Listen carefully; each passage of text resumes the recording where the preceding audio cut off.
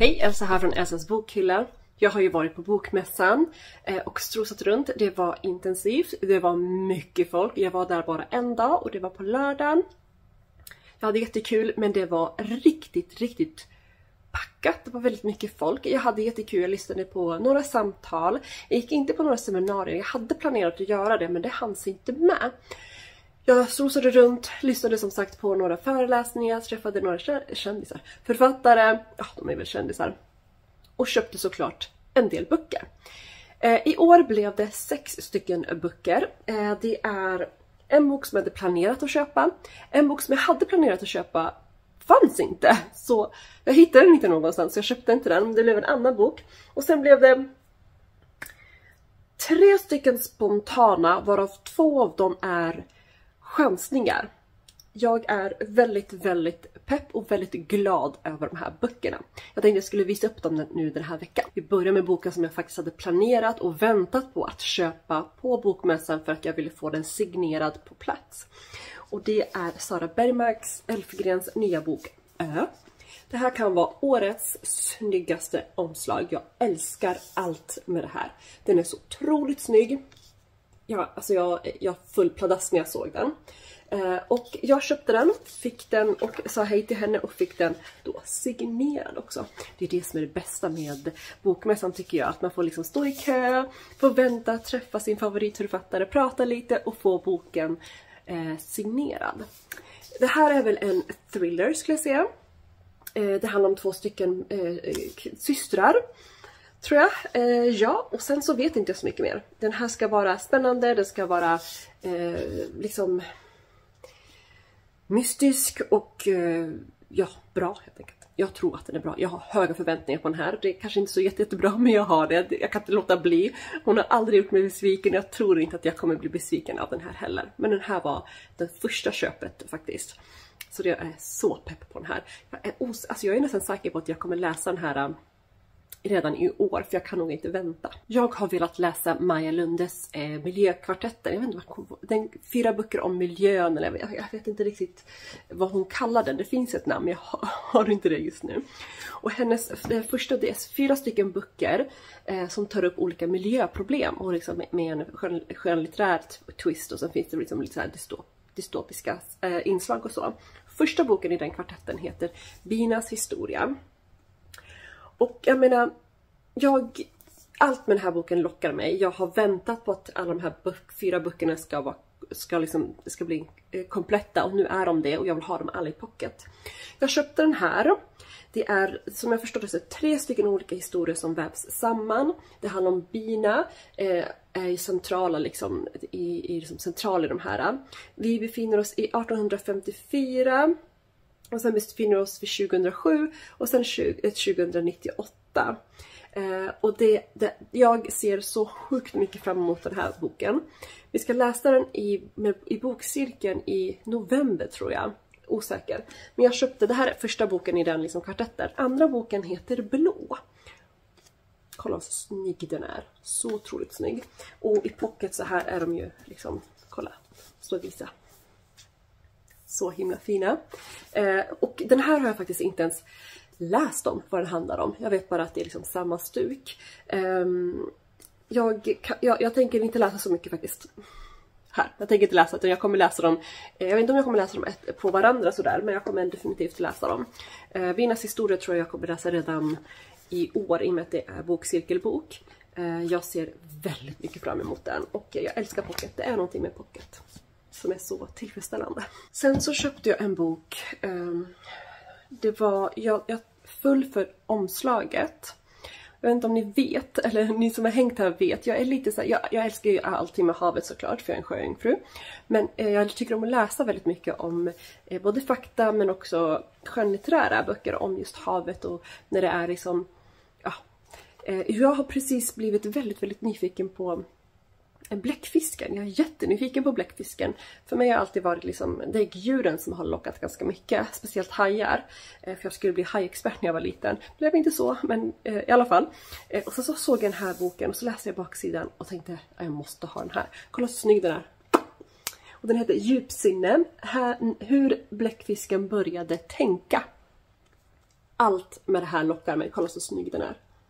Den är helt fantastiskt snygg. Och det här är alltså helt, det här är alltså fack, facklitteratur. Det vi, där, eh, får se vad heter den, forskaren eh,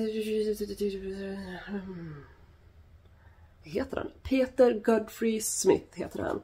Han har dykt, han har forskat om de här och nu har han skrivit en bok om det. Så det här är en facklitteratur. Och så är det så bilder här ska vi se. Eh, jag är så sjukt pepp på den här boken. Eh, som sagt, igen så här pocket, jag älskar pocket. Eh, ja, eh, och jag bara tänkte jag måste ha den här boken. Den är så snygg, den kommer passa så perfekt i mina bokhyllor men också att den, eh, i och med att jag börjar bli så himla nyfiken på Bläckfisken så tror jag definitivt det här är en bok för mig helt enkelt. Så den fick följa med hem. Sen har jag då två chansningar. Eh, jag tycker det är så himla kul att chansa liksom böcker man inte har talas om eller bara liksom dras till av någon anledning. Och de här böckerna var väldigt mycket så, jag bara drogs till dem. Vi kan börja med eh, en bok som jag faktiskt har ändå sett men inte riktigt djupt, liksom inte riktigt ehm, eh, läst om. Men jag läste om den då när jag såg den, tittade på den, vände och vred på den och tänkte ah den här måste jag chansa, den här måste hem. Det är eh, Lonely Castle in the Mirror av Mizuki Tsuji, Tsujimura, kanske man uttalar det. Eh, Okej, okay. Den är otroligt snygg, jättehäftig, eh, väldigt, väldigt så här, unik. Men den, som jag har förstått det, jag har inte läst på jättemycket, men det här är ska vara så magisk realism, kanske lite fantasy. Men det handlar om att vi befinner oss i Tokyo, bästa. Eh, och sen så är det, tror jag att det är, får se, sju unga människor vaknar upp i deras rum när, vaknar upp i deras rum och sen så lyser deras spegel. Det visar sig att de kan komma in i spegeln, in i en spegelvärld av deras egen värld. Någonting, någonting. De kan hoppa in i spegeln och hamnar på en någonting. Och sen så händer det massa saker, någonting, någonting, de ska försöka ta sig ut, någonting, någonting. Ni vet ju hur jag är, jag vill inte läsa på så mycket och jag har inte gjort det. Men den här verkar, verkar verkligen som en bok för mig. Jag, allt med den här boken också igen lockar mig. Um, och som sagt, jag var en chansning eh, och jag jag vet liksom inte mer än så. Jag vet faktiskt inte någonting om författaren heller. Men det står här att den här boken eh, the prize winning Japanese number one bestseller. Så att jag menar... Och, jag, och ni vet ju, jag älskar ju att läsa böcker och litteratur från Östasien och Japan är ju en favorit. Så jag chansade den. En annan chansning var faktiskt eh, omslaget lockade mig. Eh, och det är väl ingen skam i det. Men så läste jag lite på baksidan och tyckte att mm, det här är verkligen någonting för mig. Det är en fantasy, det är drakar. Jag vet inte så mycket mer, jag tror att jag läser de två första sidorna och sen bara, ah, jag tar den. Eh, jag pratar om Of Jade and Dragons av Amber Chen. Kolla vad häftigt. Jag vet inte, nu blinkar det lite, men kolla vad häftig den är. den eh, verkar verkligen sådär Ja men den, den verkar jätte... Typ- så, så här så skön. Så. Så att jag bara... Behöver liksom inte bryta någon, någonting, någon rygg och sådär. Bara skön så här. Ah, underbar ljud. Eh, men det här handlar om, okej, okay, 18-åriga någon ehm, eh, eh, någonting, någon blir mördad, det är, hon är engineer, eh, någonting, någonting, jag vet inte, det är drakar, det är, mm, jag vet inte så mycket mer. The Secret Hidden Within någonting, någonting. Jag hoppas inte att det här är en serie, för nu har inte jag kollat upp om det här är en serie. Jag hoppas, hoppas att det är en standalone, men säkert tror jag det är en serie, otur som jag kan ha ibland. Ehm, men jag hoppas att det här är en standalone och jag ser jättemycket såklart fram emot att läsa den här. Men det är också så här chansning, jag hade faktiskt inte hört talas om den. Omslaget lockade, eh, det verkade intressant här när jag läste lite baksidetexten så att jag ser väldigt mycket fram emot att läsa den här också. Där har vi det, sex stycken böcker som fick komma hem till mig eh, efter bokmässan. Eh, ett par ehm, liksom chansningar som jag verkligen ser fram emot och ett par böcker som jag har velat läsa länge. Eh, jag, jag vet att, att, året är snart slut, det är liksom så här, eh, början av eh, oktober. Så jag kommer kanske inte hinna läsa någon av dem innan året är slut, förutom Ö. Ö kommer jag definitivt läsa i år tror jag. Men annars så får de ju hamna i damma av för 2025.